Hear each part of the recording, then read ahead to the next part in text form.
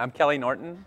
I'm the tech lead for the SpeedTracer open source project. Um, now, before, um, before I get started in earnest, I just want to ask a quick question, which is, uh, how many people attended my talk by a similar name last year?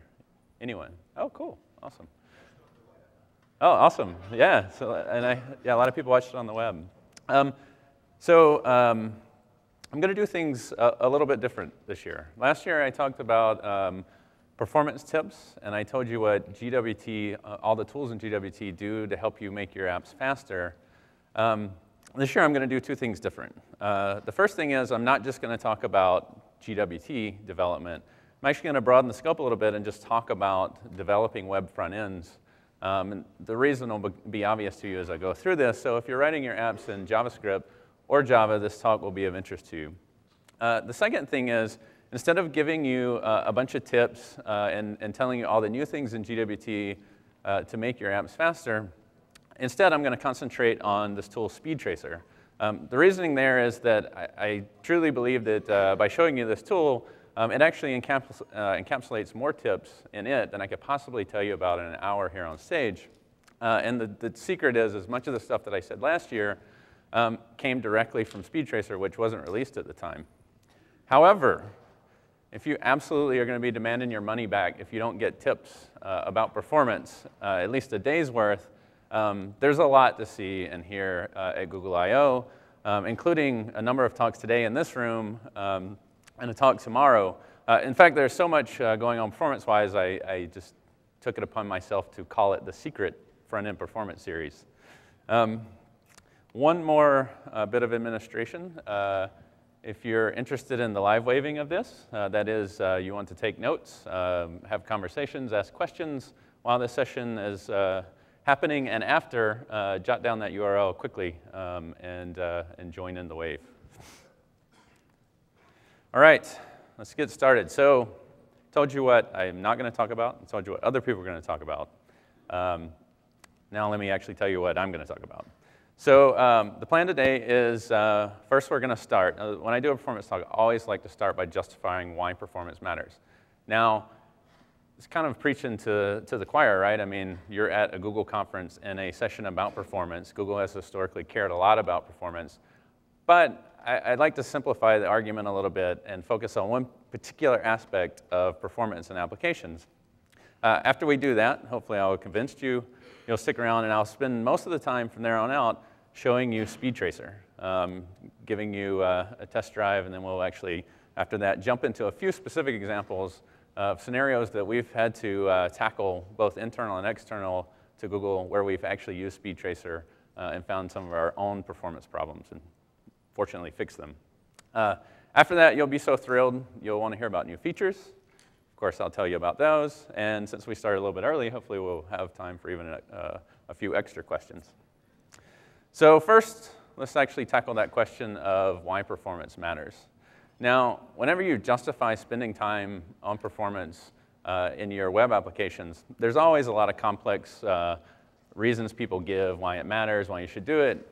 To me, um, and, and, they're all perfectly good. I'm, I'm, sure they're great. They include math and you know, return on investment and everything. Um, but to me, it, it, actually comes down to a very simple thing. Performance affects your users. Uh, I've always said performance is actually just a characteristic of usability. Now, I'm going to try to continue to convince you of this, but I'm only going to use basically three bullet points from here on out with some, some supporting evidence, including some demos. so, first bullet point. Uh, performance affects your users simply because it affects your users' ability to actually use your applications. So to give you an example of this, get to the right window here. Oh, hey, my talk is starting. um, so very simple game. You can play along at your seat. As a matter of fact, I gave you the URL because it's even harder for me doing it up here on stage with a trackpad, so I'm probably going to get some misleading uh, results as I try it here on stage. Um, very simple game. All you do, you grab the ball, you drop it in the hole, and it'll time you.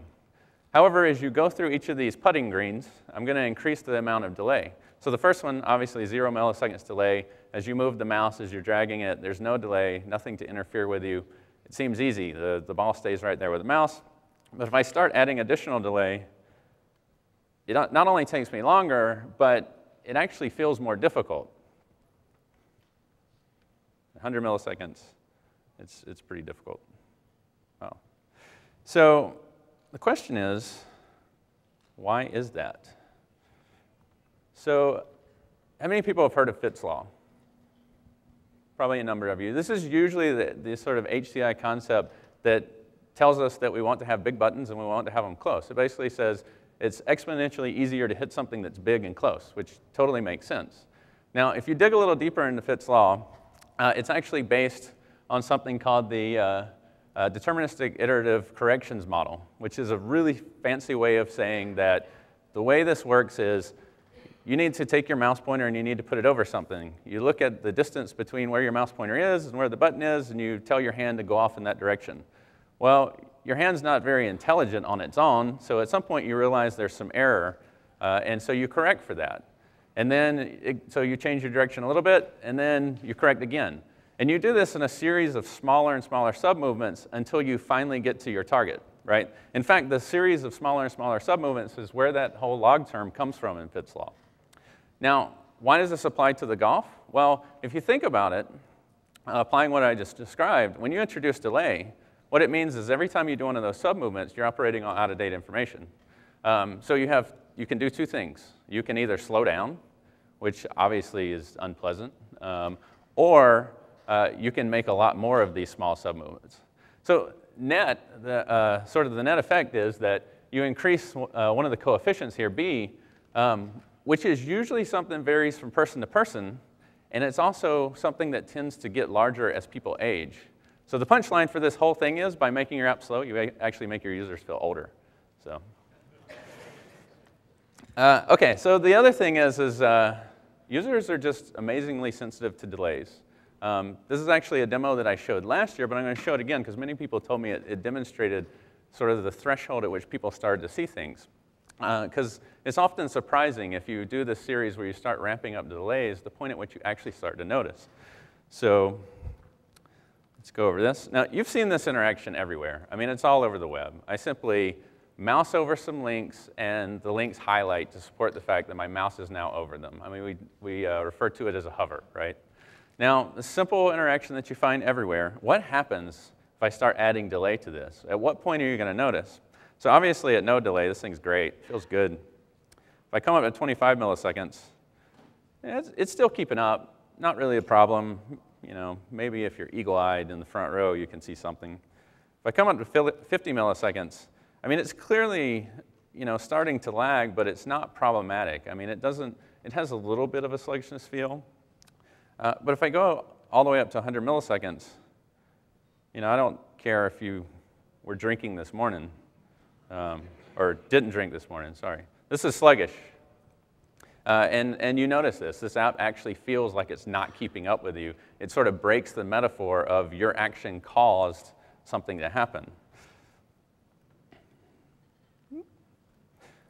Okay. Now, the last one is a surprising one, um, and that is that uh, the user's perception of quality in your application can actually change based on the performance alone. In fact, there's a surprising study that shows that not only can their perception of the quality of your application change, but actually the content contained in that uh, application or web page can actually change. They uh, in fact, uh, and here's a link to the study, uh, they found that, uh, or these researchers found that as they increase the amount of latency in loading a web page, users actually consistently rated the, the content of those web pages lower. Um, I'm, obviously, it would be very hard to demo this on stage. Um, so bathroom reading if you want to grab the link.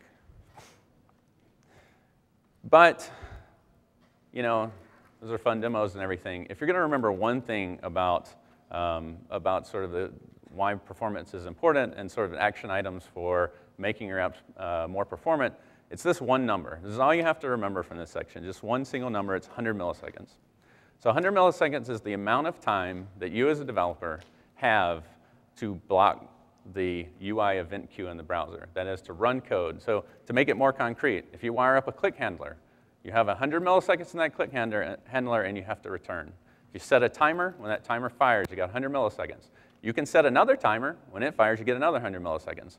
So um, if you follow this, then your, your apps are going to feel um, much snappier. Um, 100 milliseconds is not arbitrary. I mean, you saw it appear uh, earlier as I, uh, as I talked about the delay. 100 milliseconds is actually the limit at which humans start to stop seeing things as being instantaneous. So I say 100 milliseconds is the limit. Obviously, the average needs to be much lower. If you make all your events 100 milliseconds, it's going to look like that, uh, the uh, hover example that I showed you. So keep this number in mind. Uh, I'm going to make it easier for you because I'm going to show you a tool that actually has this number built right in. But 100 milliseconds really is the sort of takeaway from this section. So we're going to get into showing speed tracer, but first uh, I want to continue on this one number, it's 100 milliseconds. Why is it so hard to do things in 100 milliseconds? I mean, it seems so easy. There's, you know, one-tenth of a second, that's the time I have. But, but why is that so hard in browsers? Uh, well, the first thing is, is uh, people don't even measure. I mean, this is the, probably the number one reason. It's a simple fact. And, and why would they? It's very hard.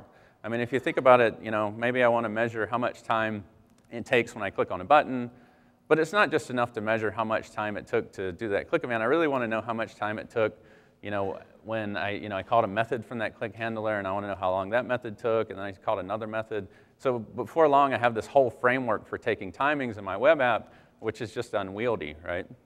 Um, the second thing is browsers, browsers are all event and callback based. Um, this, uh, this makes it very hard to know what's causing the problems. So you may see an animation stutter on application. You may you know, notice that a, when you clicked a button, it stayed uh, blue or you know, whatever the depressed color is too long. But it's really hard to know what caused that because in addition to handling the click event or running the animation, you may have a timer going off. There may be network, there may be data coming back over the network and an XML HTTP request and your handler ran for that. So it's really hard to, to cast blame on the one thing that's causing problems in your application. And the final thing is browsers are just really complex. Uh, they tend to have lots of nest, uh, nested subsystems that call each other uh, in sort of mutually recursive ways, extremely hard to reason about. And, and the more tricks that browser vendors use to make them faster, uh, it does make it faster, but it also makes it that much more predictable. So every time they make something lazy so that it only happens when you uh, when you uh, exercise a particular part of the UI, it becomes much harder to reason about what's going on.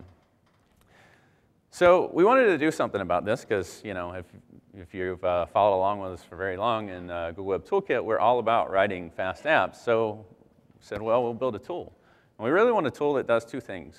Um, it one, it, it, tells you what's going on. I said the number one reason is that no one ever times. Well, you really should, should just have a tool that's timing for you all the time, that tells you how long it takes to do everything inside your application.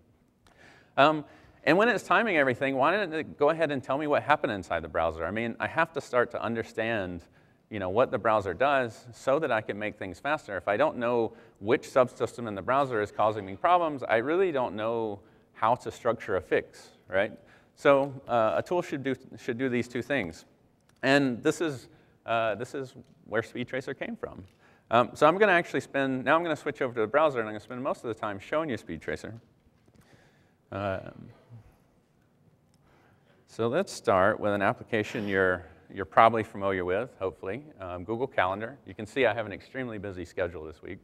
Um, and uh, we're just going to use this as an example application. I'm going to show you Speed Tracer uh, monitoring the performance in Calendar. Now, Calendar's, uh, it's, it's, a, it's a fast application. The engineers on Calendar have honed it, they've tweaked it, they've used tools like SpeedTracer, and they've made it fast.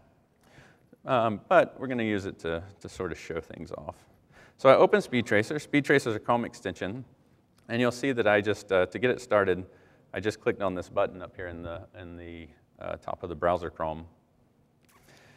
Um, okay, so I'm going to go back to calendar here and I'm just going to reload it so that we have something to look at uh, and then I can describe what we're seeing.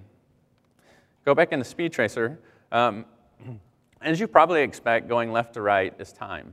Very common way to represent time. Um, I'm, uh, I'm going to zoom out so that we can get a better view. Uh, and then sort of working from top to bottom, there's obviously a control bar at the top, which gives you things like zooming. You saw me just zoom all the way out so that I can see all the data. Uh, next is, and probably the most noticeable thing, is this graph called the sluggishness graph. Now, this sort of encapsulates that 100 milliseconds uh, that I told you about earlier. The sluggishness graph is intended to be really simple to use. That is, if your, uh, if your application causes the sluggishness graph to hit 100% at the top of the graph, then you're keeping the browser too busy, which basically means that you ran something longer than 100 milliseconds. And we even have little heuristics so that if you continually th run things that are even you know, some fraction of 100 milliseconds, you continue to sort of push up the sluggishness graph. The intent here is that you can very easily run it on your application and it tells you when things are bad. Rather than giving you a whole dump of data and then you go and analyze it and you try to figure out where the slow part is, this actually tells you when it thinks something is not performing well. Obviously, if you keep, uh, if you keep the graph you know, low, well below 100 milliseconds, everything's, everything's wonderful. Um, so typically the way you use this is you start, you look at your uh, application and you, and you sort of watch the sluggishness graph looking for these peaks. Um, and they, uh, they shine uh, or stand out on the overview graph down below, which shows you the full timeline. Uh, once you find something of interest, and uh, this is about the only data we have from calendar right here in this region, I can simply uh, select directly on the sluggishness graph and zoom in. Uh, now zooming in, zooming in we get the full details of everything that happens. Uh, we list all the browser events that happen, the top level events. So this can include, you know, everything from parsing HTML as you load up the, uh, you know, the, the main HTML page. It can be timers firing. Um, it even shows paints for when the browser decided to repaint the screen. Um, then if you dig deeper into those and expand one, you can see uh, that you get the full details of everything that happened during, the, uh, during this event. And like I said, browser subsystems tend to be very mutually recursive, so you see things like you know, layout being called recursively and uh, you know, parsing of HTML often causes scripts to run. These sort of things that are very hard to reason about, you sort of have them, you can see them uh, laid out in this uh, convenient event trace. Now, if I then click on, uh, if I then click on one of the nodes in the tree, I can get even more details about exactly what happened. Uh, the details are specific to that type of event, so they often help you, particularly when one of these is very large, to find out exactly what's causing the problem. And I'm going to show you uh, sort of a working example of that uh, soon.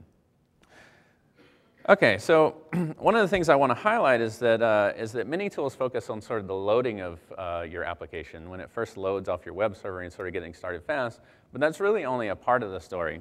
What you really want uh, when you're building uh, interactive applications is you want something to continue to watch because um, it's not just the loading of your application, it has to continue to feel, continue to, to not be sluggish as uh, you know, we termed it here. So to, to just give you a, a, sense of that real quick, um, if I go uh, back in the calendar, and I suspect that uh, I'll probably want to go for drinks later for a while. Um, no, let's call that drinks.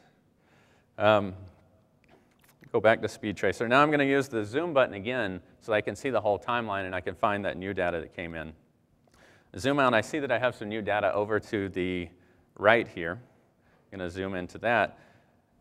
And, and basically the point is here, you, you saw that just as I got the data as the application was loaded, I can continue to get the data, because this is, you know, Calendar is an Ajax-style application, so it continues to run code and update, and it's very interactive. So I can continue to monitor the application uh, as I use it, not just when I'm loading the page. Okay, so I'm going to jump back, uh, zoom out real quick and jump back in to talk about the next part. You've probably noticed a few of these top-level events have uh, little green, uh, green, orange, and sometimes red indicators to the side. Uh, we call these hints. The, the idea here was that, you know, we do a lot of performance investigations with uh, SpeedTracer, and we often discover patterns. One, one I'm going to show you uh, in the next section.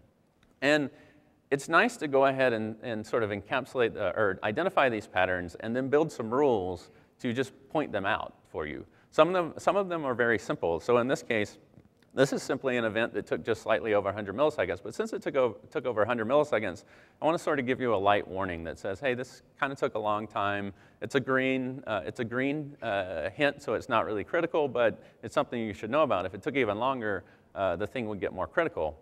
And uh, we, have, uh, we have a number of uh, hints that have to do with the runtime of your application, and also on the network panel, which shows you all the network resources that they loaded over the network, it also shows you, uh, you know, uh, best practices here, for instance, uh, you know, caching of resources. Uh, so, you know, recommending that you, uh, that you increase, use the right headers for your, uh, cache policies for your resources so you don't always have to fetch them from the server. You also notice that now that I'm talking about the network view, it may be hard to see, but um, the network view is actually sort of underlaid on the sluggishness view. Um, so you can kind of see them both at the same time. Um, the reason why we did this is because you know you always have these XML HTTP requests which are going off to the server, they're getting data, they're bringing them back, and you always run code as a result. If you used uh, Google Web Toolkit, you know the, uh, when you do an RPC, you see this happen. You go and you uh, do something on the server, and then something, uh, the request comes back, and you run some code. And it's actually very handy to, handy to know exactly when the data came back from the network and then something ran in the browser. So we want to correlate things going on in the network with things that are happening inside the browser or you know, uh, inside your code. Okay, so the final thing I want to show you as part of sort of the run through of SpeedTracer is, you know, say, say we've used SpeedTracer, we've found, uh, you know, we've used it on our application, we've just found a performance problem. Now, it's really hard to talk about performance problems. You know, I can, I can send an email to my teammate and I can say, yeah, um, you know, when you push this button and then you do this and you resize this, it gets really slow, uh, and it seems like this is not updating. Um, and even if I had to communicate all the data in SpeedTracer, it would be really hard, right? I'd have to say, well, it's 32.4% layout, and it's, you know, 15% uh, style recalculation. It's just not an efficient way to talk about these problems. What I would rather do is I would rather take what I have here, send it to my teammate, or, or post it on my, in our issue tracker system, um, and then have that person open it back up and look at what I was seeing. So, uh, so when we did SpeedTracer, we added this save load functionality. So I just hit, uh, hit save, and I save this just as I would a web page. Save that to my desktop. Uh, I send that to my teammate, and I say, hey, could you take a look at this? I, I don't really like the way um, this thing is performing. And let me switch back. So I then open up that file I just received by email. I click Open Monitor, uh, and we're right back to where we were. So, um, so my teammate can see exactly what I saw when I found the problem. So it's much easier to talk about performance problems when you do run into them. Close those out.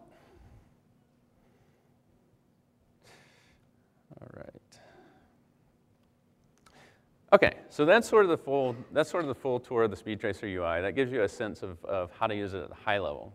But now I want to dive a little deeper and take a couple of specific examples, uh, uh, scenarios where we've had to do performance investigations on you know, internal Google applications and some external applications. Now I've simplified these examples because I, if I didn't, we would spend you know, three hours just going, trying to explain to you the code of some of these applications. But hopefully it'll give you a flavor of the types of things you can find and the ways in which SpeedTracer uh, pinpoints the problem.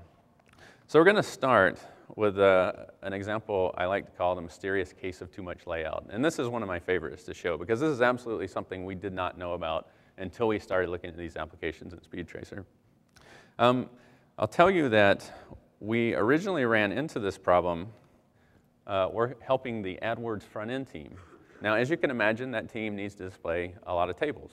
They need to display tables with numbers in them. And you, uh, in fact, many of them, for uh, probably obvious reasons, you want to edit it. You want to edit the, the values.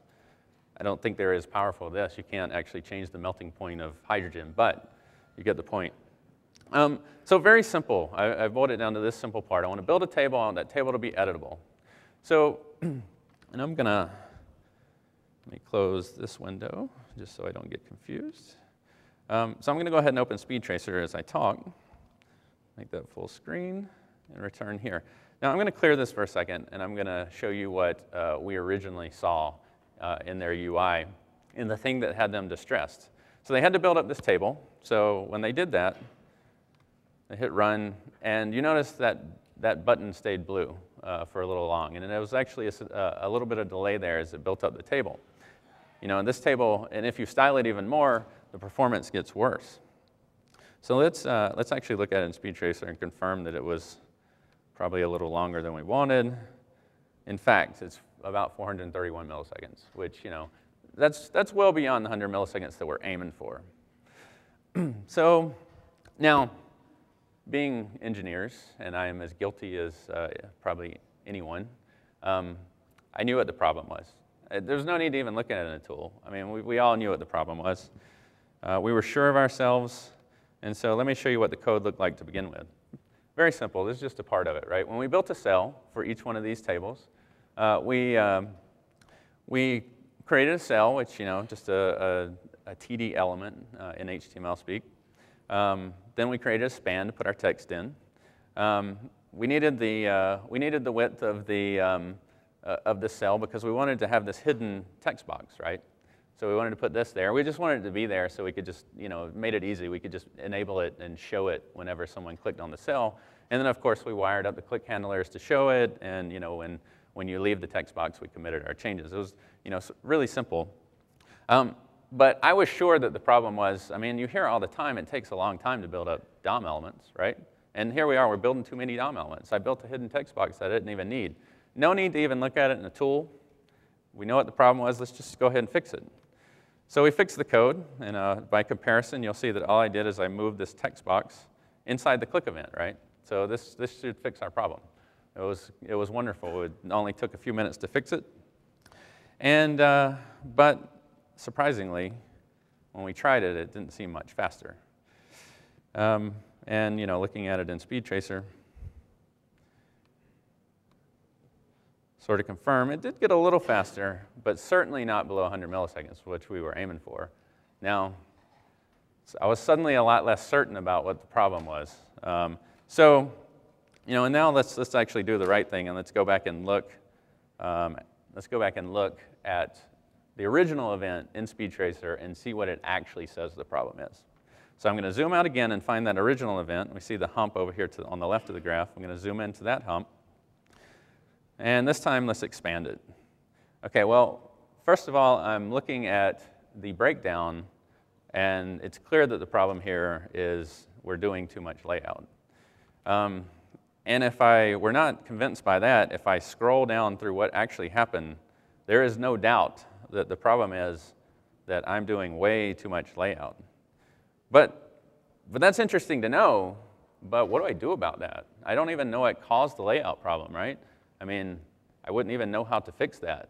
Um, okay, well, let's, let's click on one and find out. I, I thought the problem was the, uh, the input box. Uh, if I then click on the, well, that's certainly not the line that I thought was the problem, right?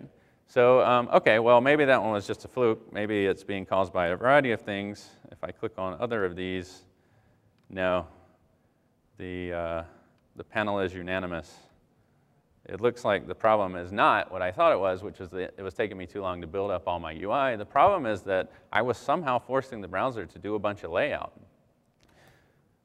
And so I'll explain in detail why what's happening here, but before I do that, let's actually fix the problem. So, um, so here's where we were on the last step. I had moved everything inside my click handler so I could you know, build up my uh, part of my UI lazily. Uh, I'm just going to move one line this time. I'm just going to move that width inside the click handler instead, of, you know, go ahead and move it in with the building of the input element. Um, let's clear it and see what that does. Well, you can already tell it was a lot faster, right? Um, but if I switch back over to Speed Tracer to confirm it and see how much faster it is, well, it's, it's actually kind of hard to find uh, because, it's, uh, because it's small. And let's see, here it is down here. Uh, 12 milliseconds sure beats the heck out of 400 milliseconds. Does exactly the same thing, right? And this is something that could have puzzled me for days had I not been guided by a tool to sort of show, you know, that there was a problem and where the problem was. In fact, you'll notice that the strange thing is after I went and changed this code, no layout actually occurs in this event. In fact, the layout occurs after the fact, after this event is completely finished the uh, browser does layout. Now, that may seem strange to you. Uh, so let me show you a quick example that, that illustrates what's going on here. I, I, told you before that browser vendors are always trying to make things lazy. Um, so they're trying to make things lazy because you know, it's, it's a little bit of an issue with the APIs inside the browser. Um, at any point, you can ask for the width of something, and you may actually change that width as you go, you know, or you may change the styles. And what they try to do is they try not to lay everything out for you every time you change something because that would be silly. If, they, you know, if you happen to be changing five class names in a row, then they don't want to update all the layout every time you change something, so they try to be sneaky. They try to wait until you read something that needs the layout information before they do the layout. But that can actually, uh, that can actually um, get you in trouble because if you're, if you're constantly reading things that, have, that cause layout, at the same time that you're setting things that invalidate that layout information, you start causing this pattern that we've been referring to as layout thrashing. Sort of a simple example here that I hope illustrates it, right? Uh, two lines, you're setting a class name and you're taking the width. Now, the top one is, the top one is going to be uh, a, lot, uh, a lot slower than the bottom one simply because I forced some layout, which I then immediately just threw away. Um, I may not have even needed uh, that, that width at the same time. And, and you know, browsers try to be smart about certain subtrees of the DOM and you know, invalidating only parts of the tree. But because of some of the, um, because of you know, some of the ways the DOM tree works, it's actually, it's actually quite hard. And you know, it can be surprising. Uh, invalidating something on one part of the DOM can actually have ripple effects in other parts of the UI. So this was a very surprising result to us. Um, we've run into it time and time again. And it is actually a hintlet inside of uh, SpeedTracer. And you probably saw that when we looked at that, uh, when I expanded the, the tree for that first one, you saw it was offering a hintlet to tell you that you had a lot of layout activity in it. Very much looked like one of these cases where you were thrashing the layout. Okay, so let's um, switch to our next example here, which uh, called a mysterious case of too much data. Now, there's no one app I can blame this one on. Um, this actually has happened quite a bit. It's, a, it's an age-old question when you're doing uh, web applications which have, you know, talk to a server. It's sort of classic client-server model. Figuring out what to send from the server, um, when, right? I you know, I, I, cannot, obviously I can't get my app up fast and load my entire database into the client side. Uh, and I also don't want to fetch every little piece of data every time it's needed. So there's a nice balancing act from getting the right amount of data to the front end at just the right time.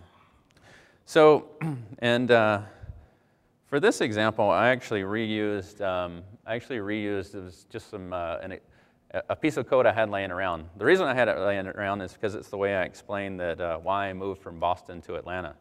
Um, so you'll notice when I hit load everything, and all this thing did was it fetched all the weather stations um, in the US and it just sort of plotted them on a canvas, right? So we're seeing all the weather stations in the US. Um, it, unsurprisingly, it kind of looks familiar when you just sort of draw them on a canvas, right? Um, but the reason why I like this app is because it shows why I moved from Boston. You notice the low ends of the graph here and went to Atlanta. Ooh, notice the nice ends of the graph that correspond with the winters. Those are actually the uh, temperatures uh, for the year 2009. So much warmer in Atlanta. But to show you again, and I'm going to open SpeedTracer this time uh, so we can get a sense of uh, how long things actually take. I'm going to hit the, I'm going to clear this, and I'm going to hit load everything again. Now this is loading everything, as it says. I'm loading, you know, not only the positions for all the weather stations, but I'm also loading all that data for 2009. Now, I feel justified in doing this because I'm over a fast connection, and uh, you know, it's probably going to get cached, and this is sort of a limited purpose uh, um, application anyway. I'm mostly just showing it to um, in you know presentations like this. Um, and so, eh, you know, in fact, if I go to the network and I look at how long it took to fetch over the network, it was actually pretty fast. I mean, you know, it didn't take that long. It was, uh, you know, total, it was less than a second to fetch the data. Now, the surprising thing is that while it was uh, less than a second to fetch the data, Actually parsing the data, because it was JSON, was half a second, right? So you know, even if it was cached, I still have to sustain a half a second of the UI being locked up, right? And this is just, you know, simple JSON structure. I mean, it's like, you know, a, a list of objects that contain lists, right? It's not, not really that complex. so the other thing I want to use with this example is I want to demonstrate a feature of SpeedTracer. Now, if I expand this, you'll notice that SpeedTracer is shamefully not doing very well here. It's just telling me I ran a bunch of JavaScript. It's saying you ran a bunch of JavaScript and it took a long time. Well, that's not really helpful for a developer, right? I mean, I, I really need what I had on the last example, which is for you know, the SpeedTracer to point out a particular line for me to fix. We're currently working on that. We're going to continue to add instrumentation and hopefully get there. But in the meantime, you need a way out if you get stuck. Um, so I want to show you your way out. Let me clear this and show you a piece of code. Now you can imagine when the data comes back over the network, this does a couple of things. It parses the JSON, and then it renders. Now, this is another one where I fooled myself, and I said, clearly the problem is that you know, it's taking a long time to draw this stuff to canvas, you know, and, and it's not the case, and I've already sort of tipped this off. But, but the main thing I want to point out is I've added some lines here. I've uh, done console.markTimeline, and I've passed a string. Now this, uh, this is basically a way to put additional information into SpeedTracer's tree. So every time I do this console.markTimeline, I'm basically telling SpeedTracer, okay, take this string, and wherever it happened in the timing, just embed that string. So I can find these points in the tree, right? So let me show that, show you that. I'm going to enable the logging, and we're going to load everything again. Go back to SpeedTracer, zoom all the way out so I can see the, the new data all the way over here on the right. And again, zoom in. Um, and again, 448 milliseconds, pretty long. But you'll notice this time, instead of just being a big uh, blob of JavaScript, I also have these logs in here, which correspond directly to the strings that I, I put in that you saw in the code. Um, and in fact, you'll also notice that there is a little blue uh, icon over here on the event itself. So you can actually use the smart timeline to actually find, particularly if you have a, a, a app that uses a lot of timers, it's often very hard to actually find the event you're looking for. Console at mark timeline is a great way to actually find what you're looking for. Um, and so you see the, you see the strings here um, that I had in the code. Now, a trick that not many people know about is if I want to know the difference uh, in time from any two nodes in the tree, I can use uh, a little hidden feature, which is on Windows, I do uh, control click. On Mac, I do command click, and it'll tell me the time difference between these two nodes. So it's pretty clear that the problem now is parsing JSON, not the rendering. Parsing JSON was about 360 milliseconds. Um, this was you know, doing the rendering only about 45 milliseconds. And it's also not surprising, uh, with all that information, that the fix for this was simply to just not load everything. So rather than loading all the data for 2009 for all the stations up front, I just wait and load that weather data on demand. So let's try the other strategy here, the load as needed. It, it came up a lot faster, which you probably already noticed, and of course, it works just the same. But let's go back and confirm what we saw oops, inside of SpeedTracer. Again, uh, I'll actually use a, since I keep zooming out, let me just move over here this time. And uh, yeah, 50, 56 milliseconds this time, a lot better. Parsing the JSON just by dropping those, uh, those arrays from each of the different elements.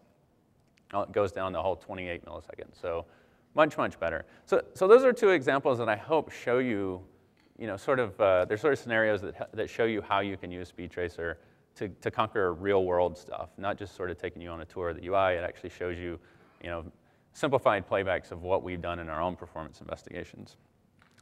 So now, let me get back to my slides. I want to talk about new features. Um, I'm going to show you three new features. Uh, two of them are in uh, what we're calling our milestone, which is if you're going now in your seat and you're downloading SpeedTracer, um, or you already have it installed and you just noticed a new version arrived, that is the milestone. So up for download right now is the milestone that will have two of these features in it. The third one we're still experimenting, experimenting with, but it'll be available soon. Of course, we're open source, so if you're really interested, you can grab it now out of the source uh, repository. So the first thing, and I, I've, I gave this away early. Um, the number one requested feature was that people said, um, can you please show me the line of code that's causing the problem? Now, obviously, when I did the case of too much layout, I, I already showed you this, right? We jumped right to the line of code. So I'm not going to show you that again. Instead, I'm going to say we, we, took it a little bit, we took it a little bit further in some cases. So for people who are doing GWT code, they write in Java, right? And in fact, when you jump to that line of JavaScript code, it's not pretty. I mean, it, it's really hard to make sense of it. We, we actually wanted to jump back to the line of Java code. So, uh, you know, and people laughed and they said, yeah, yeah, yeah, take us back to the line of Java code. And we weren't quite sure how to do that, and so we kind of laughed along with them. But we, we finally figured something out, and, and, let me show you what we figured out. So I'm going to um, this is an application. If you used App Engine, the Java SDK on App Engine, you're probably familiar with this uh, particular application. It's actually one of the samples. Um, and um, and I, I am, I'm going to use Speed Tracer on it. But the way I launched this one was instead of just sort of going to the application, um, going to the application and then you know, bringing Speed Tracer up on it, I actually used a new feature that's part of the uh, Google Eclipse, uh, Google plugin, uh, Google uh, Eclipse plugin, um, or Google plugin for Eclipse, I'm sorry. Um, so you'll notice in their new version that there is now a new menu item I can say profile as speed tracer. Okay, I've already run this because you know I didn't, obviously since you want to run in production mode, it runs the GWT compiler. I didn't want you guys to wait on that on stage. So I already have it running for us over here. I'm going to open Speed Tracer, make it full screen, return back here, and I'm simply going to refresh this guy just so we can get some data. Now, I hear Sticky was written by somebody who has just mad front end skills, so it's really fast. I wrote it. Um, and uh, I'm going to zoom in on the, the, little bit of data we have, and I'm going to focus in on this uh, XML HTTP request because that looks like some interesting data. And now I look, and there's some parse HTML. And uh, I'm going to, you know, again, I want to look at the line of code that caused this. And, and if I want to look at the JavaScript, then, you know, I can look at the JavaScript and it's about as intelligible as I thought it was going to be. It's highly obfuscated. But you'll also notice there's something new for this particular trace. Right underneath the line of code for JavaScript is, hopefully you can read that, is a Java identifier. Um, if, you're, if you've written Google Web Toolkit front-end code, you recognize this, Google, uh, com.google user client UI image. Um, you are probably familiar with this. Um, and if I click on this link, then I actually go right into Eclipse. So.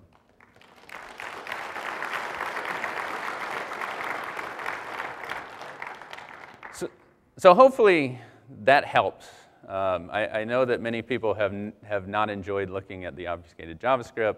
We thought that jumping directly into the IDE would probably be a, uh, suitable for people who you know, are really attached to their tools like Eclipse as we are. Okay, so the next feature, um, which you probably saw if you, uh, if you stayed for the whole uh, keynote, is um, server-side profile tracing. So I had a lot of people who, who they said, well, I've, you know, I've, I've worked on my front-end code, and it's really fast, but I still have this slow section, and it's the server. So, you know, the server guy hopefully will eventually take care of it, um, but I don't know what's going on. And they said it would be really cool if uh, Speed Tracer could just tell me what was going on in the server, could show me you know, the traces for what happened on the server. We thought that was a great idea as well. And so I'm going to show you this particular example on App Engine. So we've taken Sticky, uh, the sample app, we've deployed it to App Engine. And I've turned on uh, App Stats, uh, which is a, a, new feature inside of App Engine that, that tells you what happens you know, inside of App Engine, inside of App Engine as you run your application, much the way Speed Tracer shows you what happens inside the browser when you run the front end part of your application. Now I'm going to open Speed Tracer. and uh, let's go back here and do something. Maybe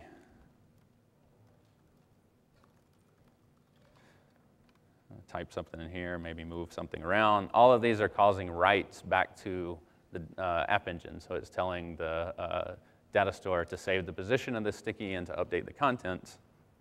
And I'm going to go back to Speed Tracer, and I'm going to zoom all the way out and go to the network panel. You'll, you'll notice that some of these, or in fact, all of these, now have a, a special icon beside them that indicates that in addition to knowing how long things took and the HTTP request headers that are in there, it also has additional information about what happened on the server. And if I click on one of these, it'll actually fill in with a trace that came uh, directly from App Engine. And if you've used App Engine, you recognize these names. This is a get from the data store. We began a transaction, did another get, did a put, committed the results, and then deleted something from Memcache. And in fact, that's when I updated something, so it, in, it uh, ended up invalidating my, uh, invalidating my cache, so the next time, or invalidating my memcache, so the next time I actually had to do a bunch of queries to get everything instead of just pulling it out of memcache. Um, so we think this is really cool to be able to see the full story um, from you know, the client side all the way back into the server and just really get a sense for what is taking a long time, regardless of whether it's the browser or um, you know, the backend, uh, the backend uh, serving infrastructure. And the other thing about this is it's available in two exciting flavors. Um, for App Engine, which I just showed you, is based on app stats. Uh, there's actually a talk, sadly it's going on right now, but there's a talk here at Google I.O. Uh, about app stats if you're interested in that part. And, um, and the other is, as part of our work with SpringSource, uh, if you're a user of their uh, TC Server Developer Edition, they have a tool called Spring Insight, which, which has similar statistics for their, uh, for their stack. And SpeedTracer works there as well. So you can get these, uh, if, you're, if you're using that container as well, you can get these traces right up in SpeedTracer. Okay, so those are the two things that are contained in the milestone that you can download right now. Um, the next thing, um, the next thing is we're still working on, but we're actually quite excited about. Now, you uh, often work very hard to get your performance down. You spend about two weeks or so and you're trying to get the performance in your web application just as tight as possible. And then you get it fast and you celebrate and you go out for beers. And then at some unspecified time later, you realize that it's no longer fast again because somebody committed something. Somebody didn't know about the excessive layout thing. They weren't looking at it with speed SpeedTracer all the time. They committed something and all that work you've done is now out the window. And not only that, you're stuck with a window of some number of revisions that you now have to do a binary search on to figure out exactly what broke it. So we, teams kept telling us, I really just wish, you know, so I worked really hard to remove the, uh, a lot of the layout out of the start of my application. I wish every time somebody put something in that it automatically ran SpeedTracer on it and can tell me if the layout went up again. So we thought that was a pretty good idea as well. And so we were like, well, okay, what do we need? What do we actually need? Well, really all we need is a headless speed tracer, watches your application while it runs in your continuous build, and then sends those, results somewhere for analysis. So we've built the headless speed tracer. Um, and now what we're doing is we're testing on some, uh, some internal applications, and we're trying to figure out the right formula for a dashboard. I'll give you sort of an inside peek on where we are with the dashboard. This is actually an internal application we've been monitoring, and we're trying to see if we can, we can actually see the regressions as they happen. Um, you know, and so we're, we're doing this. We're running their, uh, we have SpeedTracer in a continuous build for them. Um, it just sends all its data back to our dashboard. We do some analysis over it, and we just plot everything. And so we're, we're monitor it on an ongoing basis to, see, to watch things change, uh, to see how things change. Uh, you know, we're monitoring a lot of different things at this point. One is the breakdown of what happened. I mentioned earlier um, we, have actually done a lot of exercises. We've just helped teams to remove layout, you know, this excessive layout from certain parts of their uh, applications. And um, they want to keep it out. They want it to stay fast. They won't want people, you know, accidentally checking something in that, that, that breaks all their hard work. So we sort of monitor the breakdown. If, uh, if we notice that the layout goes up, then obviously we should probably investigate that change list that went in that, that caused that to happen you know, monitoring uh, other things like I don't know how many people are uh, familiar with GWT's lightweight metrics. There's actually a system built into it that tells you uh, how long it took a module to load. We're monitoring this, that for the application as well, and, and a lot of other things. But, but the main thing is, is that you know, this will enable you to, to put SpeedTracer in your continuous build and start to actually analyze what's going on in your application as it runs as part of the build, which we think is, uh, is going to be pretty important. Okay. So next thing I'll tell you is uh, go grab a copy of the milestone. It's, uh, it's available at this link. I'm sure the link is going to be in the, uh, in the wave. We actually have some Googlers taking notes. Uh, so important facts like this will be in there. and uh, I'm happy to take a few questions. While, while I take questions, I'm going to leave the slide up. It's my contact information, some additional SpeedTracer URL. Uh, SpeedTracer is a open source project, and that bottom link is actually directly to um, the open source uh, source repository, uh, uh, Google Code. And finally, a reminder that we're going to be taking notes inside of Google Wave. Now, I'm going to, I'm going to just do live questions during this part, but if you put a question in moderator, I'm just going to answer it throughout the day so we can continue to talk there. I hope that's okay. But I decided to, to just field the questions for the people in the room uh, while people are in the room. That way I can actually answer more questions than I could if I tried to handle moderator you know, while on stage. So uh, thank you guys, and I'm happy to field questions now.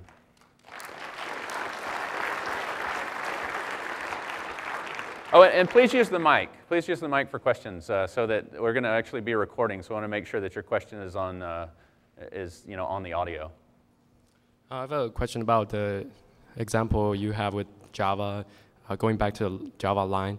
-huh. But uh, what can you do at that point? Because, you know, I think there's another abstraction um, with, with Java. How do you know how it translates into JavaScript?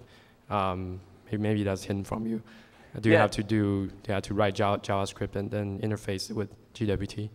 Right. So, um, so it's a good question. And actually, I found there's a big, uh, one of the other advantages that I didn't even mention of this is, you saw that I clicked on the link first that brought up the JavaScript. And then I clicked on the link that brought it to Java. Now, it turns out that that's actually really powerful in itself because you often want to ask the question, what did the GWT compiler do for me? And it just turns out to be a really convenient way to answer that question because you can actually bring up the JavaScript inside of SpeedTracer and bring it up in an IDE. And obviously on your workstation, you typically have more than the 1024 by 768 that I have here. So you can bring them up side by side. And, it actually helps to answer that question in an efficient manner because otherwise, you would have to look at the Java code, and then you have to open the JavaScript code in an editor, and then you would have to find the function that you're looking for. Well, this, this allows a you know, much quicker uh, way to compare them side by side. So we, often, we actually often use that quite a bit to, to figure out exactly what the uh, GWT compiler is doing. So, yeah. oh, sorry, over here. Hi, thanks for your talk.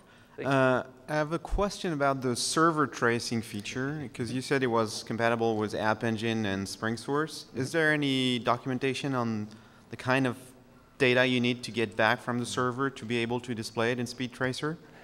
There is, uh, there is not currently uh, anything besides our source repository, but there is about to be. Okay. Um, it's, it's actually pretty simple. Um, it turns out that uh, the event trace that we show um, for, the, uh, for what's going on inside the browser is exactly the sort of uh, nested data structure you want for the server. The only thing that sort of confounds it is if you're using multiple threads, um, and we haven't really handled that case um, quite yet, but you know, it's, you basically just end up creating a JSON structure that has this, this, uh, this sort of tree appearance. Um, it's, uh, you know, and uh, we're gonna, at some point after I.O., we're actually gonna get the data at least published to the open source group while we continue to tweak on it. But, um, but yeah, it's a pretty simple JSON format. Okay, thanks. Look for that to show up soon. It's actually the same question. Oh, cool, awesome. And, and also, if you, if you have server-side tools that you want to make this work with, you know, feel free to, to uh, we have uh, their SpeedTracer uh, dev Google group. Feel free to email that group, and you know, we'll, we'll help you get to where you need to be. So. All right, so uh, thank you for the talk. Um, I'm not sure if this falls into the realm of SpeedTracer, but uh, it's about profiling. Um, what happens is most of the developers are running uh, SpeedTracer on a faster machines than your end user would. And uh, is there any um, uh, direction that you can pr create profiles and do caps on CPU or memory and uh, get a more realistic profile? rather than a, a little skewed from a developer's point of view. Yeah, that's, it's a great idea. We're interested in it. We haven't really done, uh, we haven't really done much in that, um, you know, in that realm. But I think it's an absolutely great idea. I mean, for instance, uh, particularly if you could use, um, you know, if you could use things we know about um, the breakdown of users and their machines, that would be even better. Right. Um, and uh, to say things like, oh, well, this event ran fine for you, but you know, on this particular uh, demographic, it's not going to run well. I mean, there are a lot of great ideas. I don't, um, obviously, we haven't done anything yet, but I think something like that would be really cool. Thank you. I was just wanting to ask about the uh, developer plugin for Chrome. Yep. For Mac OS. Do you know if any news on that? The uh, the developer. So you can run the code server and then run Chrome and Mac OS and use Speed Tracer against that? I don't know. I may. Oh, oh, you mean for Chrome OS? yeah. For, oh, um, no. Uh, sorry, for Mac OS. Oh, Mac OS for yeah. Mac OS on Chrome or? Yeah. Um, Like with developer plugin, so you can. Oh, oh, oh, you mean the, uh, the, the, when you're actually running inside of development mode? Yeah, yeah. Okay. Um, so, um, yes, the, uh, we still don't have a plugin for Mac, as you've pointed out, for Mac Chrome, right? Yeah. Um, I, I don't know when that's coming. Bruce, do you know? Is Bruce still in the room? Does it? I don't know. If you email me, I can find out. I, I, um, I got kind of detached from what's going on with development mode, but, uh, um, but I can find out for you. I think it's, uh, there's been a lot of discussion about it. I'm just not sure when it's going to come, uh, when it's going to come about. Um, doing speed tracer in development mode obviously gives you a lot of misleading of, uh, results, but, um, but yeah, uh, development mode for Chrome on the Mac is desperately needed. Uh, uh, Linux as well. So. Hi, thank you for your talk. I was curious about your last feature, if anyone, if you know of anyone developing a Hudson plugin for, uh, for that. You mean the headless? Yeah. Yeah. Um, so the only place that, that exists right now is in, uh, in the source control repository for SpeedTracer. Um, so if you're interested in it, feel free to grab it, compile it, try it out yourself. We're open source project, so if you want to contribute back, it's awesome. What we're really trying to do with that right now is we know that uh, we know that we want this thing in the continuous build, but it's actually so much data to analyze. We're trying to figure out exactly the sort of things that we're going to want to look, on, look at on an ongoing basis. And so we're still trying to sort of simplify the reams of data. So, to, so if there's anybody who wants to help out, you know, and wants to sort of try it out, the more, da- uh, more data we can get about, you know, what sort of things people want to see, the easier it will be to, to get to something more, you know, faster that, uh, that is actually simple enough to, to use on, you know, on a daily basis in your continuous build. So. Um, thanks for GWT and Speed Tracer. It's freaking awesome. Um, but uh, with the mark timeline in the console, is there anything in GWT, or is that would just be a native method that you're just passing in a string to at the present? Right now, it's just to create a, a JSNI method and call it directly. Yep. Um, there's actually some talk about doing something a little, um, a little more clever. In fact, we've, uh, I'm, I'm, I made a pitch to add uh, console mark timeline into all the widgets that you could turn on in a permutation so that you could get like full traces of when things happen. Yep. Um, so something like that's going to happen soon. But right now, just call it as a native method. Yeah, Excellent. Thank you. sure. So uh, first of all, thank you for that uh, connection to the Java code. That was by far my biggest Awesome. pony request. Like, I scrolled out half of my complaints as soon as Awesome. you got to that That's point. cool. Um, maybe a couple more kind of pony requests here. Um, so knowing the line of code that caused the problem is nice, but if you profile like in an all Java stack, use a profiler, generally you record and then you stop recording Yep. and you kind of get times per method. And SpeedTracer doesn't work that way, I'd assume, because maybe browsers don't really work that way. It's a lot of callbacks and stuff, but it's kind of hard to correlate like that this code took a lot of time as opposed to, oh, this is just the entry to the code that maybe took a lot of time. Is there a way that SpeedTracer can sort of help us find those hotspots? Yes, stay tuned. Uh, we're, we're actually, um, Eric, who's ducking his head out there in the audience. Wait, raise your head, Eric. Raise your hand, Eric.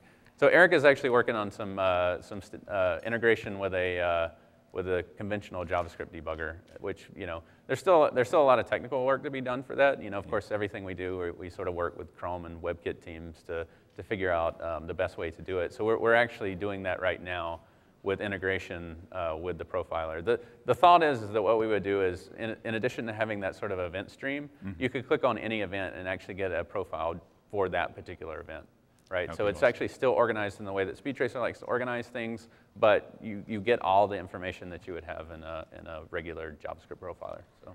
And then one maybe tiny pony request, as a, and maybe just your expertise. Um, sometimes I'm afraid that we lose a lot of time. Um, uh, we deliver big payloads, um, JSON payloads, and we gzip them because we want to, you know, adhere to best practices and try to make it as small as possible. And sometimes I'm afraid that the browser is taking a long time to ungzip them. If, Right. if you have something that uh, goes to 100K and then it ungzips to 4 megs, uh, that seems like that should take some time, but I could never find any indication of how long that is possibly taking. Right. Um, is that an event that I could look at, or? So we don't have it as an event, uh, and and I have to say that uh, my experimentation here is pretty small, but I have what I, I, ha- I will tell you that I observe, from what I've observed, it's insignificant. Okay. The reason Okay. why it's insignificant, uh, in addition to just not taking a lot of total time, is that most browsers actually have additional threads or in some cases additional processes that are part of the resource loading stack. So in most cases, it doesn't even happen on your UI thread. Right. So even if it did take a little bit of time, it still has that asynchronous uh, feel, you know, apart from the actual UI. So The uh, so- native, oh, sorry. Sorry, and the native JSON parsing, do you think that that's going to help with the payload delivery? Or are you, is that timing that you're looking at already native browser JSON timing? It's so um, the native parsing of JSON in the browsers is uh, is considerably faster than what we have been doing. Yeah. Um, I, I think it's going to actually get faster though. I, I've already heard some discussion right, uh, about you. it uh, being faster. So we're going to run out of time. I'm uh, what I'm going to do is I'm going to break down my stuff, and I'm going to head towards the back so that as the next session comes in, um, where I'm not standing up in the front. And if you have a question that you want to ask me, then then meet me meet me back there. Cool. Thanks everyone.